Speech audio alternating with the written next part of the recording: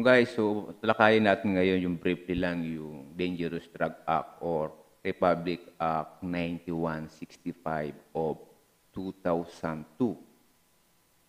Or marami kasing nagko-comment, marami nagtatanong. So, sa panahon ngayon guys, pan, ah, mula nang mag-upok si ang ating presidente, ay mahigpit ng nilalabanan natin ang drugs. So, although itong drugs naka-issue ay hindi lang naman ngayon, no? Ah, since panahon pa ito ni Marcos ay mayroon ng drugs. So, brief, briefly po ang drugs natin ay dati ay imported na nagkagaling pa kung saan, sa Mexico o sa iba't ibang dako ng daigdig. Pero ngayon, ang karamihan ay local or manufactured na rin po ng sa atin. Pero ang mga kapitalista talaga nito ay mga dayuhan. Almost wala naman halos Pilipino. Ang karamihan sa Pilipino ay, ay mga transporter lamang or dealer or retailer. So ngayon, lagi niyong naririnig sa kaso kapag, bawa, kasi hindi naman ito mapapanood ng mismong suspect, no? Tayo, kayo, tayong mga malapit sa suspect, paano natin to ihahandle yung dangerous act, lalong-lalo na kapag nasangkot ang inyong mga kaibigan o inyong maaaring anak. Kung, na, kung naligaw sa likong daan. So ganito po ang gagawin natin. So madalas po, ito lang, i-focus lang po natin ang sarili natin, itong video ito, kasi hindi po natin ito malalahat to.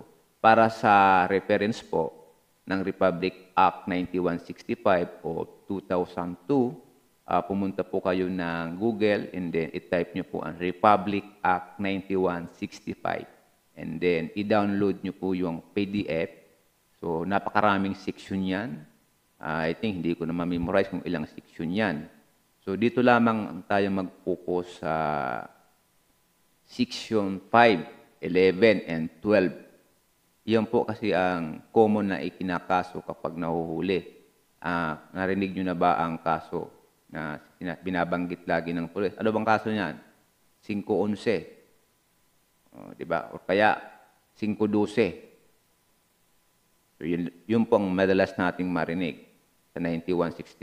Ah, 511 or 5, 512, 511, 512. Iyon po. So bago ang lahat, ini-invite ko po kayong mag-subscribe and i-like ang ating video para sa ating support sa ating channel. So my name pala is Pulisya ko kung first time ka sa aking channel, no? At nagla-live tayo tuwing gabi, 8 p.m. or 10 p.m. daily. Yan guys. So ano ba ang gagawin natin para in case na may isalba natin sa pagkakulong ang ating mga relatives o mag-anak kapag nasang kapag naligaw ng landas regarding dito sa Dangerous Act of 2002 9165 no? Lalong-lalo na tong medyo magaan lang naman yung tinatawag na section 12 o di ba? Section 12 so unang-una po eh siguro makipag kapag may ganitong issue uh, directly magipag-ugnayan kayo sa piskal na may hawak para if ever na kung paano mapapadali yung paglabas ng suspect. Maraming program po ang drugs, lalong-lalo sa mga maliliit lang naman na kaso. So more, or, more naman is lalong-lalo na itong Section 12 at ito ay position lamang ng equipment or paraphernalias. So ang penalty nito ay 6 months to 4 years lamang, nakita ko sa Google, no? So pagka ganito po, para, mapada, para mapadali yung paglabas, mas maganda siguro, masintensya na siya para makapag-apply ng probation. Kasi ito ang ganitong sintensya ay pasok po ito sa probation kasi 6 months and 4 years lamang. The other, ano, lagi niyo pong itanong kapag ganitong pangyayari, sakop pa ho ba yan anang probation ang final sentence yan. Pero kapag ito pong 5, section 9165, pag nag-5, uh, sales, trading, o yung other pa ano, magbibinta, transportation, ay medyo, pag malakas po ebidensya, eh, mahirap to. Life imprisonment po kasi ang final sentence nitong Section 5. Life imprisonment, ah, medyo talagang mabigat na makaahon. Kumbaga sa ano, kulong talaga. Okay?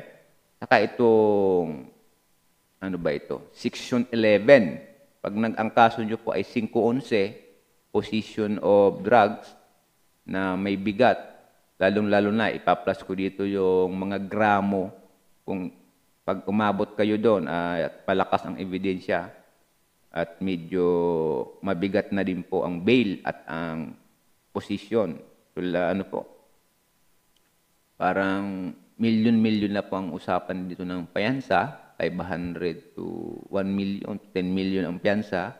At as usual, life imprisonment na din po or reclusion perpetua ang sintensya nito. Tantyahan na lang po to kung depende na lang po sa ebidensyang mangangalap ng pulis kung mabigat ba. Yun po ang titingnan ninyo. So lagi po kayong makipag-ugnayan sa fiscal or sa judge kung paano kayo makakaminos. Kasi mabigat po itong section 5 and 11. Ang medyo magaan lang dito yung section 12 using paraphernalia o position of paraphernalia ay magaan lang po. So maximum of 4 years lamang ang penalty.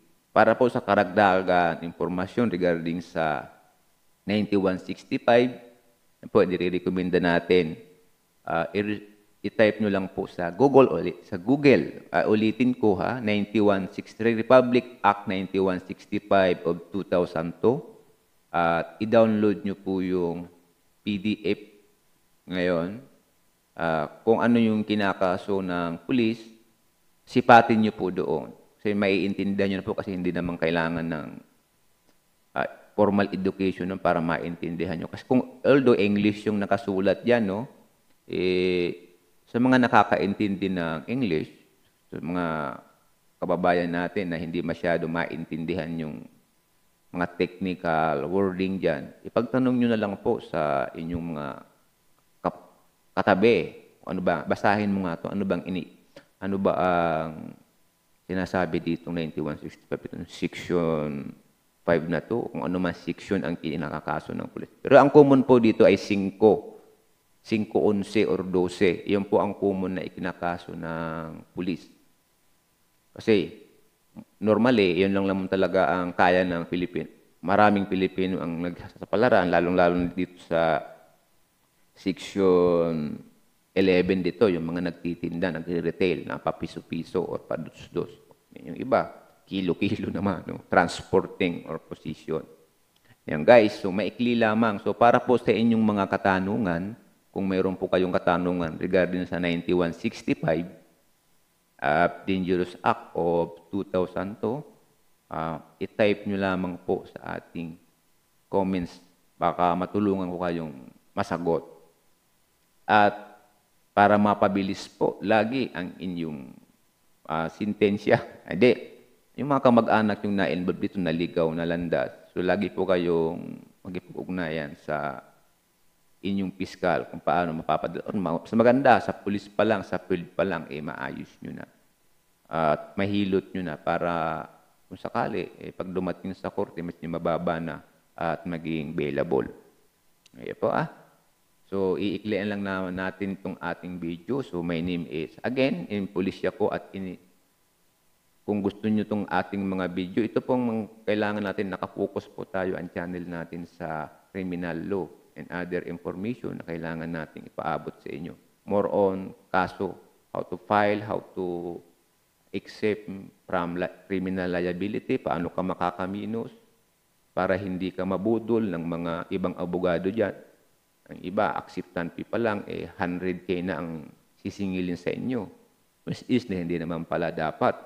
Kailangan mo lang pala ng libre. So, yun po yung nagagawa ng ating channel. Doon po tayo nakapokus yung makaminos sa bayaran, yung mapadali at para makalabas kung nakakulong o para hindi makulong o para hin parang manatili, para hindi makasuhan o kung kayo man na ay naagrabyado, nakaagrabyado, para makaminos sa time, sa abala. Yun po yung channel natin. So maraming salamat po sa inyong pagsuporta. At congratulations, uh, going to 10K na po tayo. Thank you po sa inyong lahat at mag-invite, mag-subscribe, mag-join po kayo sa ating perk at ini-invite po. Malaking tulong po yan. So nagla- visit po kayo sa ating live.